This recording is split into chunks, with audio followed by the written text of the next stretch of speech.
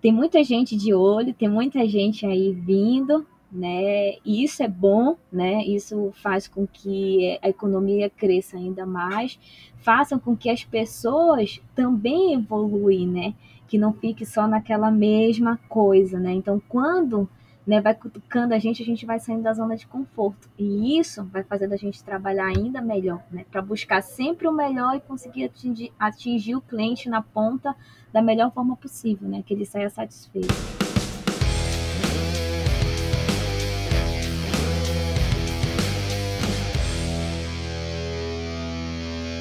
Gente, bom dia, boa tarde ou boa noite, dependendo da hora que vocês estão vendo aí. Eu sou o Fernando e hoje eu estou aqui com a Leidiane para a gente falar sobre negócios na Amazônia. E aí, tudo bom, Leidiane?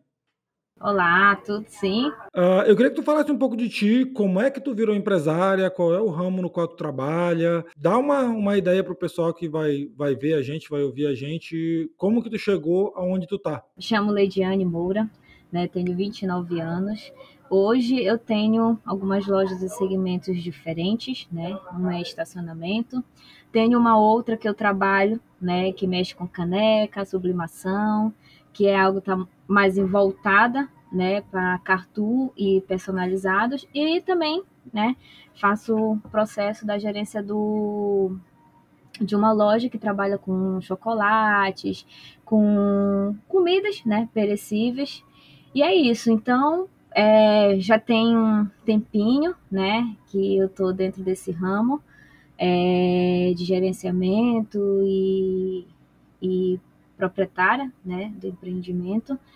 E assim, né, a cada tempo que passa, mais a gente vai conhecendo novas pessoas, né, com esse conhecimento de novas pessoas, vai abrindo novas outras oportunidades, né? Vai chegando para a gente novas outras informações, a gente acaba, né, é, entrando dentro de uma sociedade de uma forma bem legal, né? Através desse processo meu dentro do mercado, hoje participo do grupo Com Jovem, né, que são grupos de, de jovens empresários, né, que tem aqui em Santarém, que está dentro da ACES hoje, que hoje eu também faço parte desse processo, e que contribui muito para o meu desenvolver dentro né, da, da parte do comércio e da economia como um todo, né?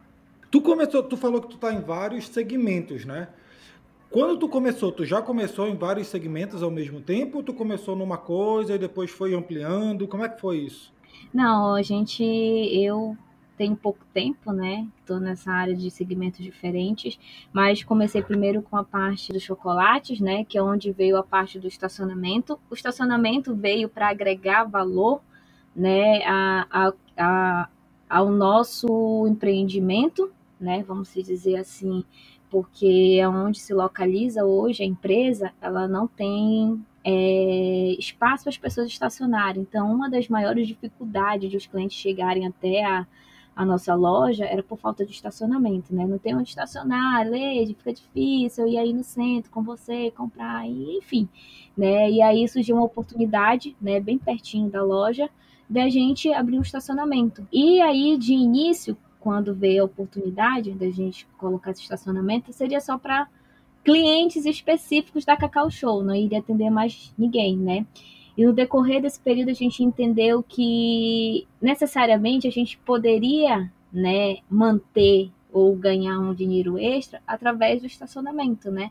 Não só sendo para o cliente da nossa loja, mas sim abrir um rotativo, um mensalista, né, à noite, enfim, fazer com que isso gere renda, né, e que ele consiga se manter, manter, os, manter pagar os custos, é, o aluguel, enfim, né? E daí veio a parte do estacionamento, que foi praticamente junto com a loja.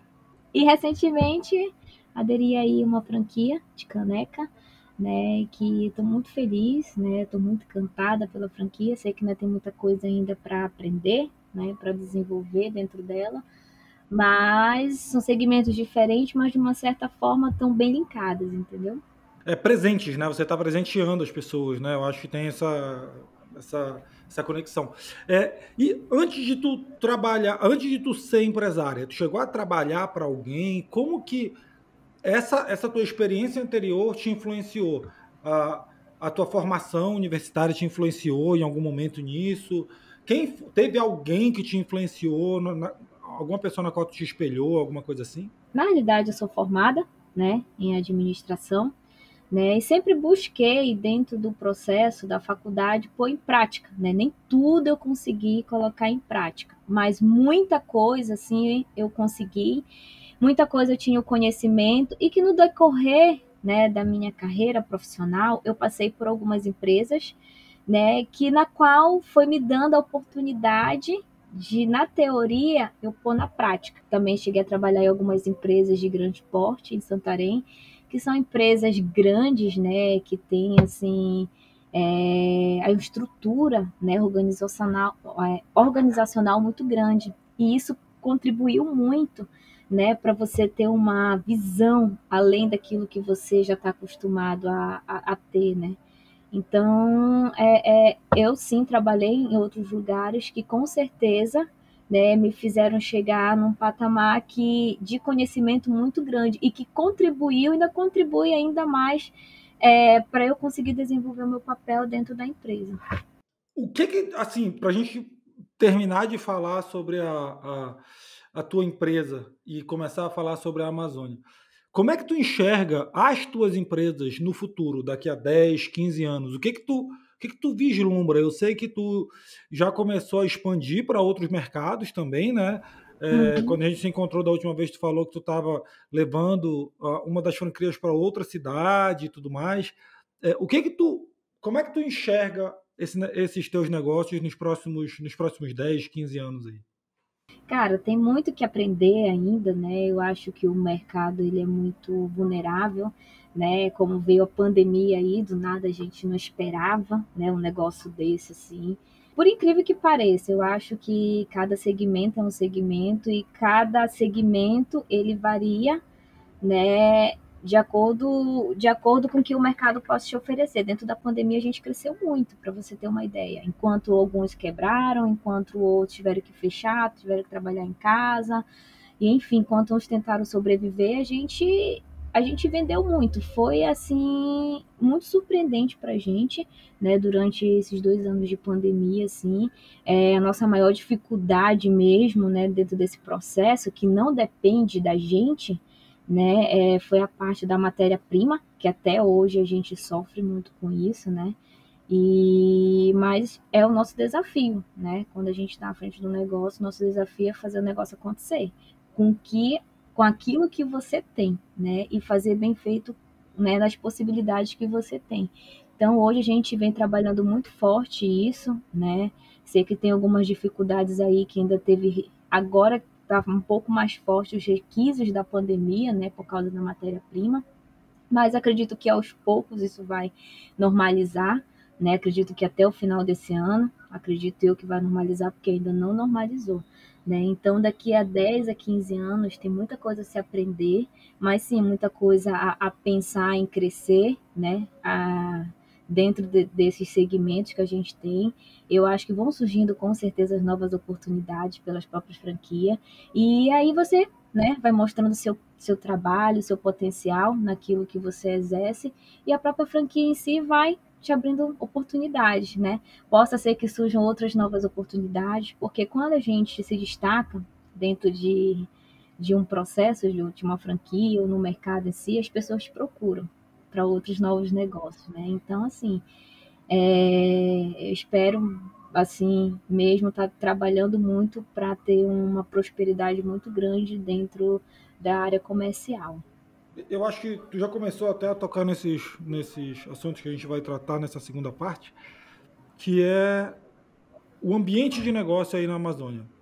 Me fala mais sobre esse ambiente de negócio que coisa, que que tem de coisa boa, que que tem de coisa ruim, quais são as dificuldades que tu enfrenta, quais são as coisas legais?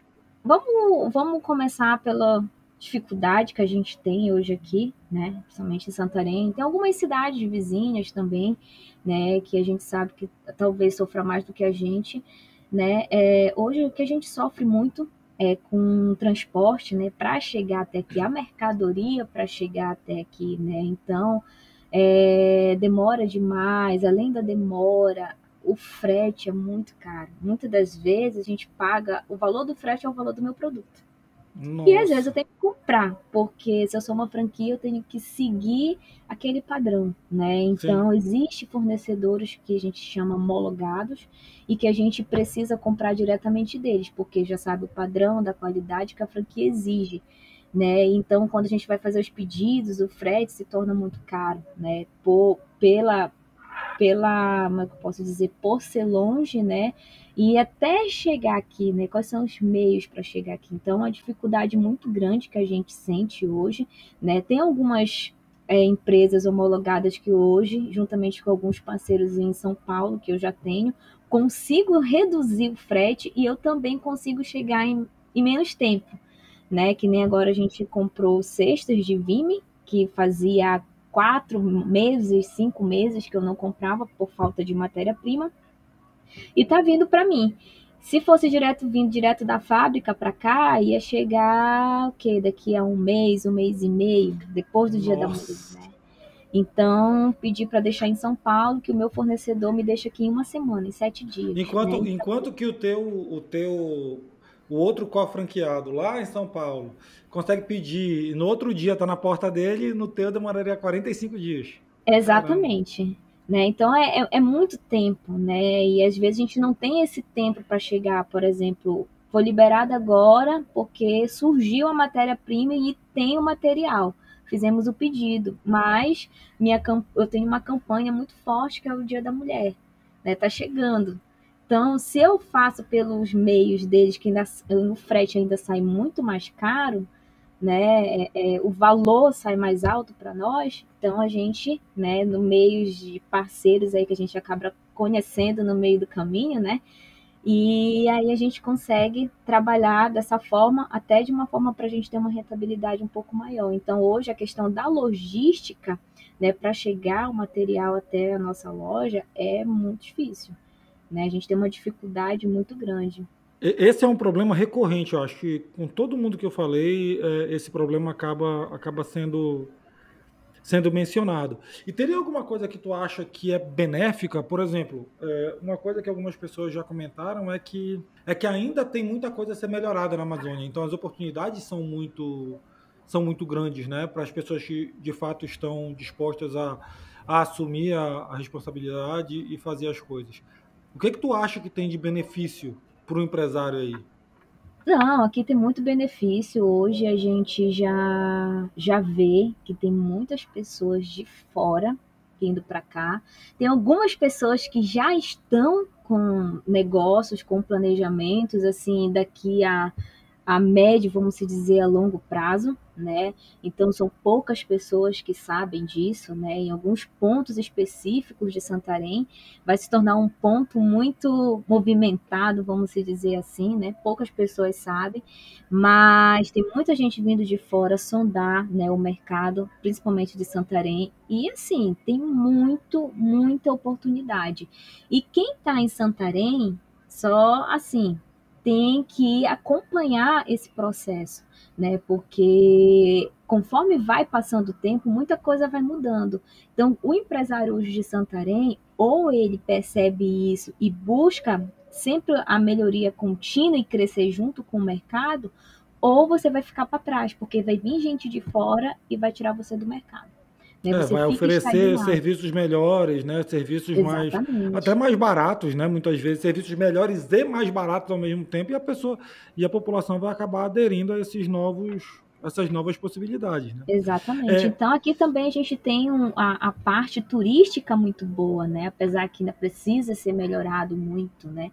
Mas a gente tem essa parte turística que também traz uma economia muito grande para Santarém, né?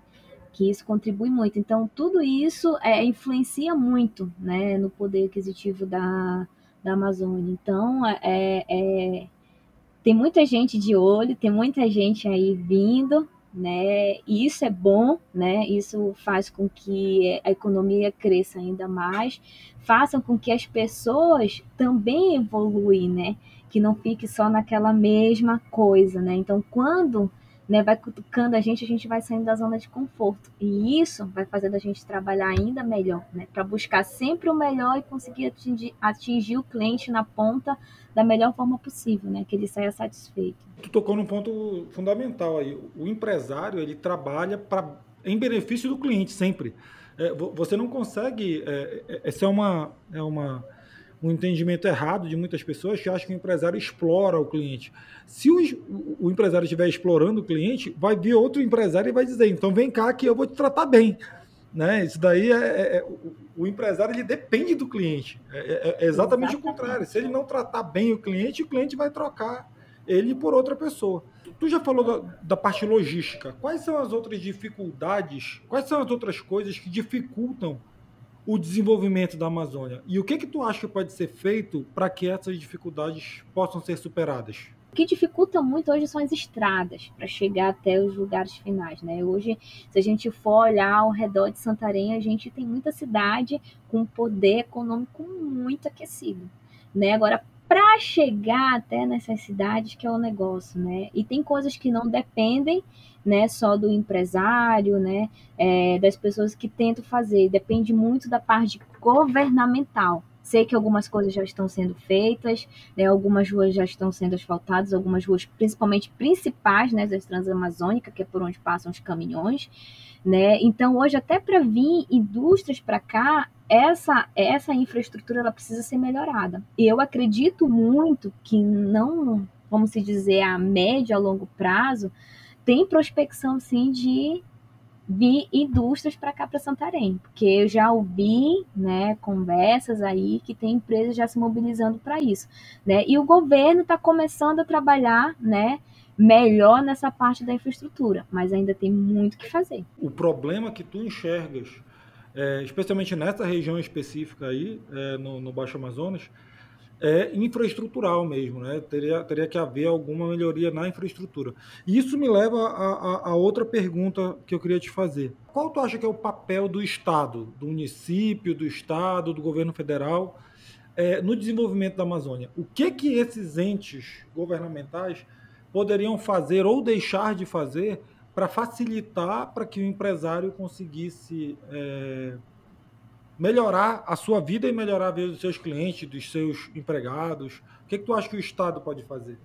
Então, né, não é deixar de fazer, na realidade é o que eles têm que fazer, né, e muitas das vezes uhum. não fazem, né, uhum. mas assim, é olhar mais para essa parte da estrutura mesmo. Eu cheguei aí, né, em uma outra cidade e a gente vê que o processo da estrutura, né, tipo a parte das ruas, o cuidado, né, que algumas cidades têm, né, em questão do lixo, a questão da, dessa parte de mato no meio da rua, é, buraco, essa parte do esgoto, céu aberto, entendeu? Acho que isso precisa melhorar, né? Então, quando a gente se vê, quando a gente anda por aí por um, outros estados, a gente percebe que existe um cuidado não só do estado, mas das pessoas em si que moram ali, né, que zelam por aquilo também.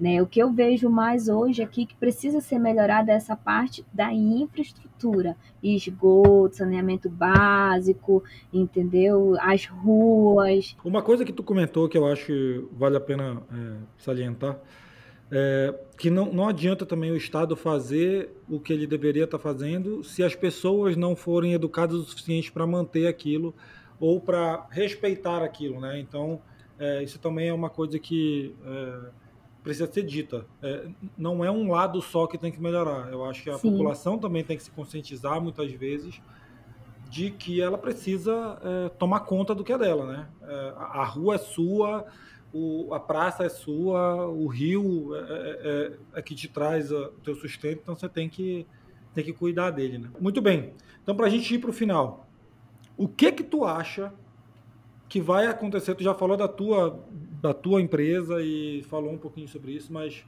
refletindo sobre o ambiente como um todo, o que que tu acha que vai acontecer com o ambiente de negócio na Amazônia, com a Amazônia daqui a 10 ou 15 anos? Tu vê algo que vai melhorar, vai piorar? O que que pode melhorar? O que que pode piorar na tua, na tua percepção? Daqui a uns 10, 15 anos vai vir muitas empresas de fora. eu acredito que o que pode ocasionar é em questão da. A gente hoje tem uma vegetação muito grande, né? Matas, enfim. E isso, no decorrer desse tempo, será devastado. Né? Vai vir indústrias, vai vir empresas, né? Talvez vai se tornar um ambiente mais o que era, vamos dizer assim, um ambiente mais friozinho, vai se tornar mais quente. Né? Em questão a isso, né, talvez não seja tão bom assim para a Amazônia. Mas em questão da economia em si, tem muita, muitas empresas, indústrias que já estão se planejando, se programando para daqui a médio e longo prazo virem para cá. Né? Porque aqui também vai ficar um polo né, é, para as cidades próximas que geram uma economia muito boa, né? Que tem cidades mais próximas aqui que a, o número de habitantes é pequeno, mas o poder econômico é muito grande. Então, quando a gente fala, ah, vamos ter uma, um polo de uma indústria aqui, como vamos ter é, empresas de grande porte aqui, isso vai movimentar muito. Então, tem muita gente de fora que vê aqui como um ponto, vamos dizer, a galinha de ouro né, deles, porque vislumbram sim né, a uma economia boa e sabe que se trazerem para Santarém, vai fomentar ainda mais essa economia, entendeu? talvez eu acredito que vai ocasionar isso, um lado negativo, vai ser a, a desmatamento. Isso vai acontecer, né? Em algum momento isso vai acontecer, né? Mas, mas falando um poder econômico, né? Vai crescer muito. Vai crescer é, muito. Eu acho que uma coisa com relação a isso, a gente tem conversado com outras pessoas também, é que as grandes empresas que tiverem é, interesse em ir para a região amazônica, é, embora elas vão precisar de área e tudo mais, e eventualmente vão ter que, que, que limpar alguma área, vão ter que tirar alguma área, a, a, algum pedaço de floresta para se instalar, elas também vão ter que seguir a legislação. E a legislação na Amazônia é bastante, muito bem organizada para que essas empresas é, não destruam a região, não destruam o ecossistema como um todo.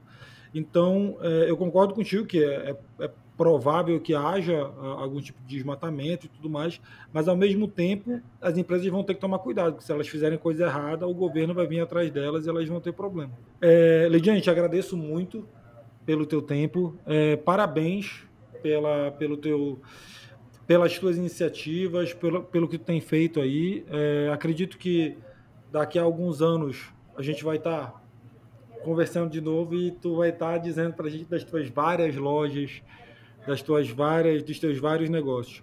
Te parabenizo mais uma vez, agradeço pelo teu tempo. E se tu quiser deixar algum contato, algum Instagram para o pessoal seguir vocês por aí, deixa aí e agradeço mais uma vez. Ah, eu que agradeço também pelo convite. Fico muito honrada, muito feliz em poder participar e espero, é, do fundo do meu coração, poder contribuir um pouquinho do meu conhecimento, porque eu acho que o que vale na nossa vida é o que a gente aprende, o que a gente pode transmitir de bom para as outras pessoas, né? Então, estou muito feliz em estar aqui, muito feliz em poder contribuir, né? E é isso. Né? Quem quiser me seguir, sigam lá na página legiane.moura. E eu estou à disposição. Se alguém quiser manter algum contato, quiser tirar alguma dúvida, quiser sentar para conversar, estou disponível aí, do que der e vier, viu? Muito obrigado. Até mais. Obrigadão. Bom dia. Obrigada. tchau, tchau. tchau, tchau.